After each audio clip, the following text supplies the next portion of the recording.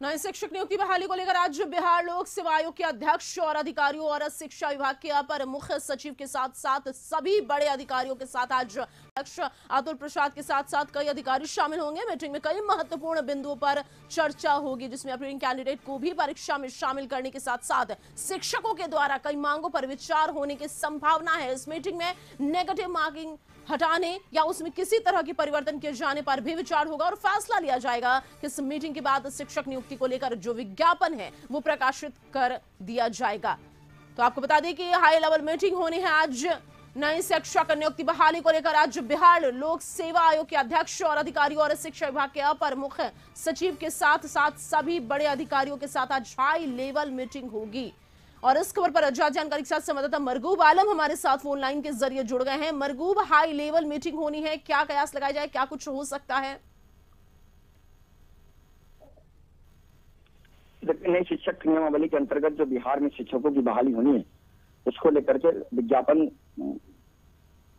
किसी भी दिन निकल सकता है। लेकिन उससे पहले आज एक बड़ी, बड़ा डेवलपमेंट ये है कि बिहार लोक सेवा के अध्यक्ष अतुल प्रसाद, बिहार लोक सेवा आयोग के सचिव और अपर मुख्य सचिव शिक्षा विभाग के साथ साथ बड़े अधिकारियों की एक हाई लेवल मीटिंग ग्यारह बजे दिन के बाद किसी भी समय हो गई इस मीटिंग में दो तीन जो बिंदु बचे हुए हैं जिन बिंदुओं को जिस बिंदु को स्पष्ट करना ज़रूरी है उन बिंदु पर विचार होना फैसला होगा। पहला जो एपरियन कैंडिडेट है क्या उसे इससे कह सकते हैं कि विज्ञापन में छूट दी जाए? दूसरा शिक्षकों की जो कई मांगे हैं जिसमें निगेटिव मार्किंग मांगे उसको हटाया जाए या नहीं हटाया जाए?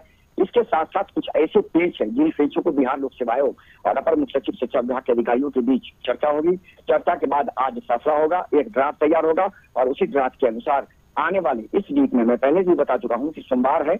आज के बाद मंगल मंगल और मंगल के बाद किसी भी दिन बिहार लोक सेवा आयोग नई शिक्षा नियुक्ति को लेकर के अधिसूचना जारी कर देगा और विज्ञापन के तहत अभ्यर्थियों से आवेदन पत्र मांगे जाएँगे। अगस्त में आपको पता है कि अगस्त में टेंटेटिव डेट है अगस्त में संभावित डेट है परीक्षा होनी है लेकिन आज की मीटिंग में जो कुछ पेज फंसे हुए हैं उन पेज पर विचार होगा उन विवादों पर विचार होगा और आज फैसला ले लिया जाएगा।